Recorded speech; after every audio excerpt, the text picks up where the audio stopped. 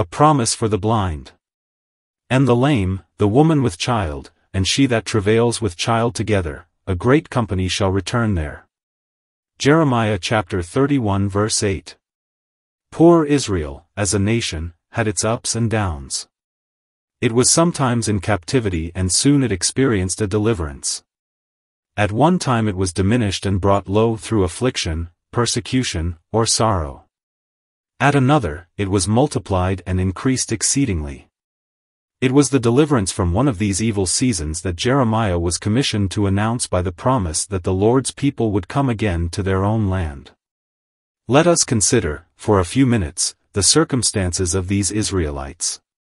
It must have been a sorrowful thing for them to dwell in a land that was not their own, to hear a language they didn't understood, to see the fierce inhabitants, their enemies, and the idolatrous worship of the heathen gods. We can well conceive of their mournful spirit and the feeling with which they gave utterance to their plaintive song, by the rivers of Babylon, there we sat down, yes, we wept when we remembered Zion. We hung our harps upon the willows in the midst thereof. For there they that carried us away captive required of us a song, and they that wasted us required of us mirth, saying, Sing us one of the songs of Zion. How shall we sing the Lord's song in a strange land? But God sent among them prophets who told them that they would be restored and herein lay the glory of the promise that it included all the captive people of God whatever might bet air rank or position. The blind, the halt and the lame would all come back. The hoary-headed man with his staff, equally with the young and vigorous the lame as well as he who could run like the rabbit all would come to the mountain of the Lord. Nor should even women be left behind the blind and the lame, the woman with child and she that travails with child together, a great company shall return there. Had the prophet not said that the blind and the lame would come, that their faces should be turned towards the holy city had he not said that they would enter into the temple of the Lord they might have thought that being poor and blind, they would never be allowed to come unto the holy mountain, even Zion. But, my friends, this text has a further prophetical signification in its reference to the gathering in of the Jews in the latter times. And with this we have more particularly to do. I believe in the restoration of the Jews to their own land in the last days. I am a firm believer in the gathering in of the Jews at a future time. Before Jesus Christ shall again come upon this earth, the Jews shall be permitted to go to their beloved Palestine. At present they are only at the entrance gates. I am told that the Jews have a practice of bringing some of the soil of their own country to England under the seal of the chief rabbi. And that at their death it affords them the highest joy to know that they will have a portion of this soil buried with them, even were it no more than sufficient to cover a sixpence. They have another idea of course, it is a very foolish one that every Jew dying in a foreign land travels underground direct to Palestine. It is because they love their country that they believe such a lie. But whatever may be our opinion respecting the Jews and their position, this I know though they ought not to be fettered and oppressed, though they ought to have a vote in Parliament, though they ought to be freed from civil disabilities, yet they never can amalgamate with other nations. The time will come when they shall leave their sordid ideas in the pursuit of gain to secure the treasures of paradise. They are now a scattered people and must be till the last times. Then suddenly they shall rise, touched by the influence of the Spirit of God, again to be his people. Their temple shall again resound with the worship of God and old Zion will be again built. Then may we truly expect the latter-day glory shall come.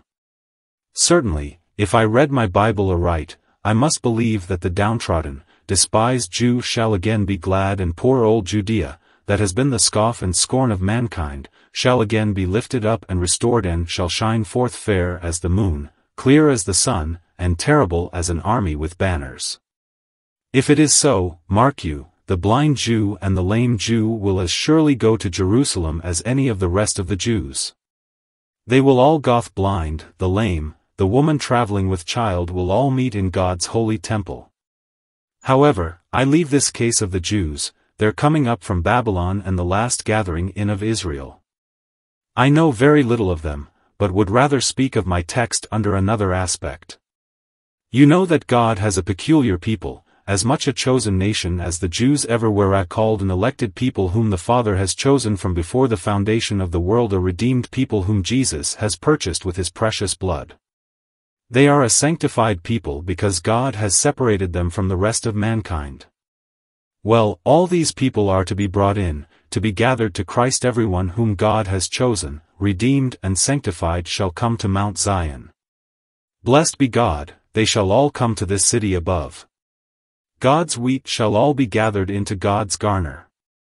The ransomed of the Lord shall all join the throng around the throne of God forever to bless the conduct of his grace. And make his glories known. My text says the blind and the lame shall meet there. Now I am about to speak, first of all, of the characters named in the text. And then I am going to try to show you the duties of Christians to the persons so designated, or spoken of, as the lame and the blind. First, I am to speak of the characters named in the TX the blind and the lame. We will speak of the blind first. There are three classes of blind people the physically blind, the mentally blind and the spiritually blind. In illustration, I would take you to the London Road and there you will find these three orders of blind people. There is the school for the blind, where you will find the physically blind. Just before you is the Roman Catholic Cathedral there you will find the spiritually blind. And further on is the Bethlehem Hospital, commonly called Bedlam, where you will find the mentally blind. These are, then, the three divisions the naturally, or physically blind, the mentally blind and the spiritually blind. Well, first, we refer to the physically blind. If chosen of God, they will love him and they shall all come to heaven. Ah, poor Adam, how many are the infirmities which your one sin has entailed upon your offspring? Oh, Mother Eve, how did your act of transgression bring on us a train of woes? Lameness, blindness, deafness along with all the sad ailments of the paralytic, the dumb, the deformed. But all honor to the second Adam. He overcomes these infirmities. He saves the blind and the lame. Through his sovereign grace, he loves many of the poor, darkened sons of men. Blind men are not chosen for soldiers except in the army of God, but in that army he enlists many blind warriors and makes them the best of his soldiers. Yes, blind saints, God loves you and will not exclude you from heaven. The man who has to go leaning on his crutch all through the journey of life is not refused at heaven's door because of his crutches. You blind men, groping along in the world, when you arrive at heaven's gate, are you to be excluded because of the lack of your eyes? Rather, the moment they come to its threshold, God speaks the word and the withered limb regains its strength, the dim eye its luster and thus, the blind and the lame become fitted to join the shining multitude around the throne of God. We know that if we die aged, we shall not be aged in heaven there are no furrows on the brow of the glorified ones. Their eyes know no dimness they know not what it is to have infirmities of body, for mortality is exchanged for immortality. It may be that we are weakly here. It may be that we have a feeble, diseased, emaciated body here. But there we shall have a spiritual body, like unto Christ's glorious body, clothed in light and majesty. We shall then be partakers of the bliss of heaven, shining as the stars in the firmament forever and forever. Now, you physically blind, you who do not see the glorious rays of the sun, do not be downcast, but remember that there have been many illustrious saints who have endured the same calamity. Chief and foremost, remember the blind bard of paradise, who, when his eyes were darkened, saw things that others had never imagined. I mean Milton. Though you are deprived of your temporal sight, you may see far into the deep things of God. Others have been blind as well as you. Many blind men have been great men. You physically blind, rejoice that blind though you are, if you look to Christ, by faith, you will join the general assembly and church of the firstborn, which are written in heaven. But, then, secondly, the mentally blind shall be restored. I have referred to Bedlam for an illustration. I do not mean, by that, to refer to those who have suffered the entire loss of their reason. It would be a very doubtful question to discuss whether a person born without the use of his natural reason can be an object of divine grace. It would lead to a great deal of discussion, without any practical result, so I leave it alone. But there is such a thing as practical mental blindness. There may be the mastermind, gigantic conceptions, a fruitful imagination with the power of leading and governing other minds and yet there may be a degree of mental blindness. We are all somewhat blind. We have all, we must confess, an imperfect vision except the Pope who claims to be infallible and, therefore, proves that he is more blind than the rest of us. There are some of us who feel our fallibility in point of judgment and who are obliged to acknowledge our ignorance and lack of clear mental perception. But, my friends, some of the mentally blind shall enter heaven. I now refer to those whose mental powers are very weak. I sometimes meet with these mentally blind people. They do not know much of their own language and, perhaps, have never put as many as a half a dozen words together in their lives in public. I once heard of one of these, an old woman, who had heard a most uninteresting discourse upon metaphysics, but she called it a blessed sermon, for, she said, the minister told us all about the Savior being both meat and physic, too. I think that was a good mistake. She, like many of the mentally blind, could not understand one half of the words that are used by some of our preachers. She belonged to the somewhat mentally blind folk who have not had the benefit of teaching or training. Well, blessed be God, they do not need it to find the way to heaven. The wayfaring men, though fools, shall not err therein. Well, all these mentally blind shall come. There will be people in heaven who never read a word in their lives. I know not how low the grace of God can go. Some poor creatures who know nothing of the things of earth, even these may understand the gospel, it is so plain. We do not need a giant intellect in order to grasp its doctrines. Its element and substance is, he that believes and is baptized shall be saved. Believer, ignorant though you may be, you can comprehend this grand scheme of man's redemption, so do not say that because you are poor and ignorant, you will not enter heaven. But, then, thirdly, there are the spiritually blind. Whenever you find a person spiritually blind, you ought to be very careful how you speak to him, or of him. I do think this is a matter in which we often fail. The discussion between Catholics and Protestants has been far from what it ought to have been. We seem bent upon forcing them to submit at once to our views, but this is wrong of us. We may condemn wrong principles, but let us always speak gently of the men who hold them. They are spiritually blind, so we should deal kindly with them, avoiding that bitterness of spirit which is so often manifested. Sick men will not take your medicine if you give them vinegar with it give them something sweet with it and they will take it. So be kind and loving to the spiritually blind and they will be likely to give heed to you. To say nothing of the Church of Rome, the Puseyites, or Arminians go no further than the present congregation there are many spiritually blind here. Oh, men or woman, do you see your lost and ruined state by nature? No.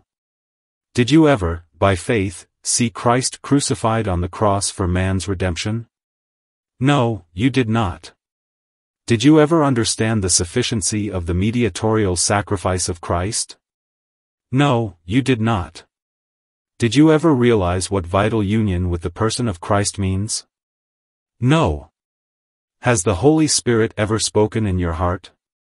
You are obliged to confess that you know nothing about his purifying influence. Ah, then, you are blind spiritually blind.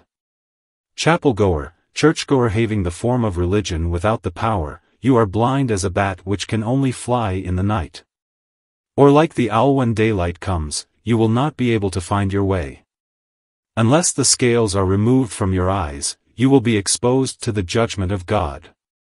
But if the Holy Spirit illuminates you, though now blind, you shall come to Zion with the rest of the chosen race. But my text also mentions the lame. These are not so much the subject of our consideration tonight and may, therefore, be passed over briefly. But many of the lame are to get to heaven. Who are they? Well, brothers and sisters, there are some of God's people who are lame because they are weak in faith.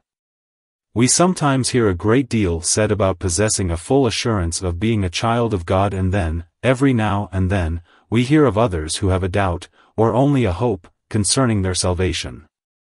As good Joseph Irons used to say, they keep hope, hope, hoping hop, hop, hopping all their lives because they can't walk. Little faith is always lame. Yet, although some of you never could say with certainty that you are the people of God, yet one or another of you can say with sincerity. A guilty, weak, and helpless worm. On your kind arms I fall. Be you my strength and righteousness. My Jesus, and my all. You lame ones, fear not you will not be cast out. Two snails entered the ark how they got there, I cannot tell. It must have taken them a long time. They must have started rather early, unless Noah took them part of the way. So, some of you are snails you are on the right road, but it will take you a long while to get into the ark unless some blessed Noah helps you. Again, backsliders are lame. There are Christians to be found who believe that it is possible to fall from a state of grace. Here I would speak cautiously. God's people cannot fall finally but they can fall a long way. When a Christian falls, it is no light matter. I hear some talking of falling and getting up again, as if it were nothing. But let them turn to Hebrews chapter 6 verse 4 to 6. But we will rejoice that Grace will complete what grace begins. To save from sorrows or from sins. I do not say that a Christian may not fall and break a limb but I do say that a child of God cannot fall, spiritually, and break his neck. He cannot fall without grievous injury. The result, in his experience, will be unhappiness and misery. Look at poor David after falling into that great sin, his history was nothing but troubles from rebellious sons and enemies. You loving, living children of the blessed God, I know that you will not talk lightly of falling into sin. Backsliders, fallen ones, God will have mercy upon you if you are truly penitent. It is a glorious fact that the sorrowing backsliders shall not be left behind. Backsliders shall sing above, as God's restored children, whom he always has loved. Blind and lame ones, believe in the Lord and you shall be found amongst the followers of the Lamb at the last. 2. Now secondly and very briefly, what are our duties to these blind people? I answer, first, to the spiritually blind, our duty is to pray for them. Yes, I believe we should never do anything without prayer. However much you may profess to love them, yet if you do not pray for them, I cannot believe what you say. An infidel once met a Christian and said to him, You don't believe in the Bible. You don't believe in the gospel. I do, the Christian replied. Well, then, how is it that as I pass you in going to my business every day, you have never spoken to me concerning my soul? You don't believe the Bible. I do. I cannot believe you, he said, for if you do, you are very unfeeling. Now, Christians, if you believe that you have spiritually blind people around you, what is your duty towards them? Sirs, unless you feel a deep concern about their state, I fear that the heavenly physician has not removed the spiritual cataract from your eyes. If we believe their position to be one of extreme peril that they, for lack of the light of God to guide them ere perishing, how we ought to exert ourselves on their behalf. The ministers do not feel enough for souls in this degenerate age, but keep on preaching, preaching, preaching, or read, read, reading their good-for-nothing manuscripts and yet there is no increase to their churches. The minister is here in the pulpit and the people are down below in the pews. There is no golden link of sympathy between them. We need more of this sympathy. We need more intense love to souls, the souls of the ungodly. We need to go more to God's throne to plead for with you. As God's ambassadors, we say with Paul, we pray you, in Christ's stead, be you reconciled to God. It is no trifling matter to be spiritually blind. It is no light matter to have no eyes. No, the blind are sure not to enter heaven if they die spiritually blind. They must have their eyes enlightened by God if they are to be found above. May the ever-blessed and glorious God awaken all the spiritually blind. May we who are ministers and all others who have the opportunity use it, under God's blessing, to throw the light of God upon their dark minds. Try to get your neighbors to the house of God, but take care that it is a gospel ministry to which you invite them. Take care that you prove the value of the gospel you possess by your own consistent practice. Pray for them and it may be that God will give them repentance unto life. And then, next, our duty to the mentally blind is to be very charitable and try to instruct them. We must manifest, in all our dealings with them, a kindness of disposition, never attempting to thrash them into what we believe to be right. I do not believe in the utility of bigoted denunciations. I sometimes differ from my Christian brothers, but I do not quarrel see it plainly enough. We, as Calvinists, believe that men cannot see the truth of God unless it is revealed to them by God. We should, therefore, be the last to condemn the ignorant, but should do our utmost to instruct them and to open their eyes. It is of no use to attempt to force a man to believe. It has been said. Convince a man against his will. He's of the same opinion still. So, whenever you get into an argument with a mentally blind man, suppose it to be a Roman Catholic, don't get cross with him. If you do, you will never make a friend of your opponent. Suppose others do not see as you do on some matters, on infant baptism or anything else and I think we Baptists very often err in our temper in some of our discussions well, don't try to compel them to see as you see. Brothers and sisters, that is not the way to convince them of the truth of our beliefs. Instead of acting like that, we should try to show them the truth as it is in the Bible and then they must shut their eyes or else see it. It is there, you say if you can't see it, I shall not be cross or out of temper with you. Never let us be cross with the mentally blind. You know that the policeman, when he meets a man at night, turns his lantern straight upon the man's eye so must we turn the light of truth upon these blind eyes and not take out the truncheon to thrash them. We should also reflect that there was a time when we, too, knew nothing. It therefore behooves us to act kindly to the younger scholars in the school, seeing that we have not always been in the highest class.